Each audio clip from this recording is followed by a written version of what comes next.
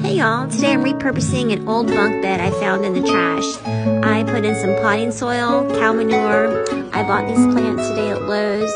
Um, filled everything up, set everything out.